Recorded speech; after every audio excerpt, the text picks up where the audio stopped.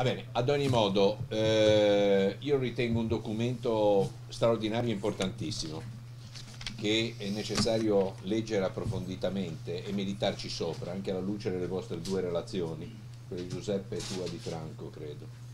Il documento è stato approvato telematicamente dal, dal Consiglio nazionale, ma non è stato formalmente approvato dal Consiglio nazionale, cioè non c'è stata una riunione del Consiglio nazionale che ha portato approvazione, però telematicamente è stato assolutamente, quindi io come Presidente allora del Consiglio nazionale ho acquisito questa approvazione generale.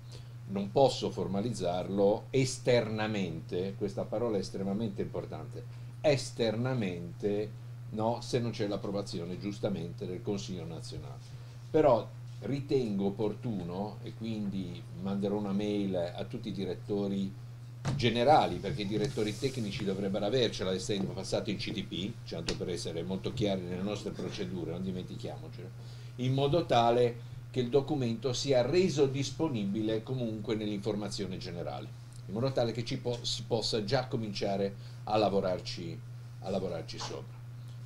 Solo due battute ai miei colleghi sia dell'agenzia sia di ISPRA. Io credo che questa storia sia una storia important importantissima del Paese. È una storia giovane, perché quando noi facevamo le valutazioni di impatto ambientale questa doveva partire, tanto per essere molto chiari come epoca e come storia. Quindi non c'è da lamentarsi, nessuno è vittima. No? Io ho fatto il, il, direttore generale di protezione civile, il vice, il vice capo dipartimento. Eh, se c'è la passione, il processo è un processo in itinere estremamente positivo, i numeri sono molto interessanti, molto interessanti, ehm, sui quali è bene meditare. Credo che sia un processo estremamente ehm, che è possibile raccogliere, anche da un punto di vista, ehm, Fredo, da un punto di vista eh, normativo di fatto. È un percorso giovane, secondo me ci sono, lo dico da utente esterno, in passato ci sono ancora delle luci ombre molto forti su quella che è l'interpretazione dell'AIA e l'interpretazione della Seveso, proprio anche come tempi.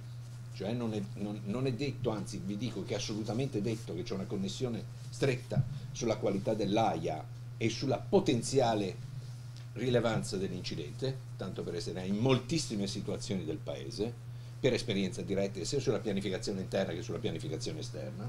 Quindi in realtà il legislatore non ha ancora avuto chiaro questo discorso e non l'ha chiaro anche a livello europeo, perché credo quello che Pini ha rappresentato come disegno del rimbalzo no, del percorso e si potrebbe tracciare molti rimbalzi di altro tipo, estremamente importante. Quindi credo che siamo in un, in un percorso che però, sottolineo qua, questo e mi lego al discorso che tutti leggiamo attentamente quei numeri e cerchiamo di capirli molto bene, deve essere raccolto dal sistema non può essere raccolto individualmente da nessuno di noi. Non può essere raccolto individualmente dall'Ispra, non può essere raccolto dalla Lombardia, non può essere raccolto dalla Sicilia e eh, credo che, che, questo sia un po'...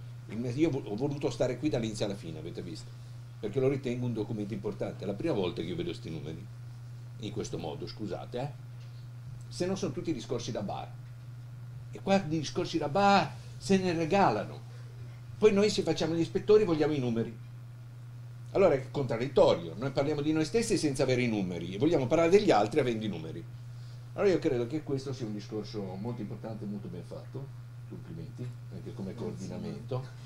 Eh, si nota che alcuni strumenti di innovazione, questo discorso che facevi tu, sono assolutamente necessari, a partire dall'ICT, cioè a partire dai supporti informatici e, tele, e telematici e quindi noi stiamo portando sulla space economy addirittura la strutturazione del SINA, nessuno lo sa qui dentro, stiamo portando a livello di, di finanziamento nazionale per avere un SINA ragionevole. Vi ricordo che c'è un articolo 11, quindi dobbiamo ragionare anche in termini dell'articolo 11.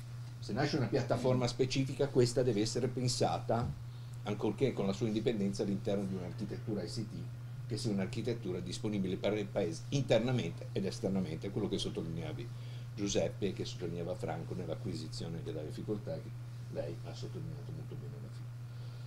Quindi l'unica cosa vi prego come per, per me facciamo questa mail, la mando a tutti quanti, me ne assumo la responsabilità di fronte soprattutto ai direttori generali perché voi l'avete già condivisa, e reputo che la meditazione debba essere fatta, consentitemi, guardando al futuro e senza lamentele. Questo lo dico proprio per il sistema, perché se ci sono lamentele dentro ISPRA ci sono anche tra un'agenzia e l'altra agenzia, c'è chi va, noi andiamo a diverse velocità, non a due velocità, andiamo a, a per mia esperienza anche di, come Presidente del Consiglio a diverse, ma questa è la partita giustamente del Paese. E non è semplicemente retiplicando, decuplicando, cento volte le unità personali, non è questo, non è solo questo, è anche questo ma non è solo questo. Quindi tutti i discorsi che abbiamo fatto sono fondativi, è l'inizio di un percorso, io credo che debba essere portato avanti nella direzione delle relazioni che avete fatto. Grazie, grazie come Presidente, complimenti a tutti,